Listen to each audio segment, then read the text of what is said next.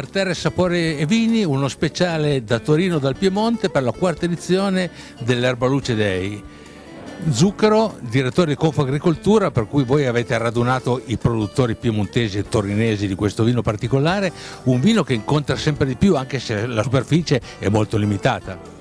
Beh, abbiamo una superficie che è limitatissima, siamo a meno due, poco meno di 200 ettari su un totale regionale che supera i 40.000 ettari, quindi è veramente molto molto poco, però una piccola perla molto preziosa è una superficie che negli ultimi anni sta aumentando, mentre tutte le altre denominazioni del torinese stanno diminuendo come superficie, l'erba luce sta aumentando, produzione che 2015-2016 più o meno si equivale, 2016 l'abbiamo degustato adesso, è un'annata eccellente direi dal punto di vista produttivo, ha tutte le caratteristiche per fare molto molto bene.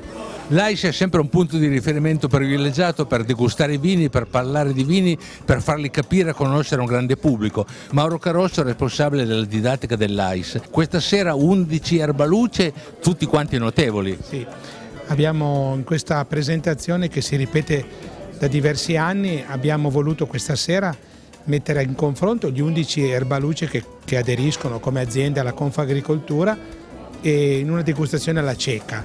C'erano tutti i produttori, c'erano anche tecnici, è stata una cosa molto bella, livello qualitativo molto alto di questo vino nostre, del nostro canavese che esprime un forte carattere, una mm, invidiabile freschezza e sapidità, un vino di, di grande territorio, un vino che va comunicato di più perché è un bianco molto versatile che si presta a diversi abbinamenti molto piacevoli, ma soprattutto è un vino del nostro territorio e come tale va, va comunicato.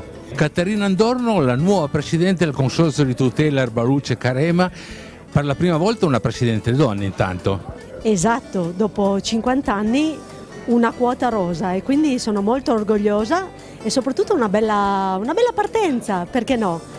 Mi fa enormemente piacere e soprattutto sono lusingata perché, per il mio territorio e per le mie origini.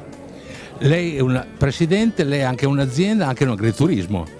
Sì, eh, noi come azienda agricola siamo conferitori alla cantina della Serra ed ecco perché è il mio ruolo, quindi il presidente della cantina mi ha coinvolto in questo bellissimo progetto che da sogno è diventato realtà.